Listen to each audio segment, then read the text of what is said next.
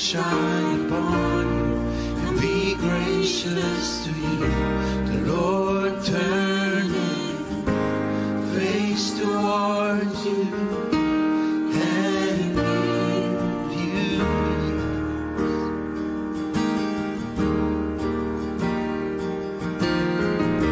The Lord bless you.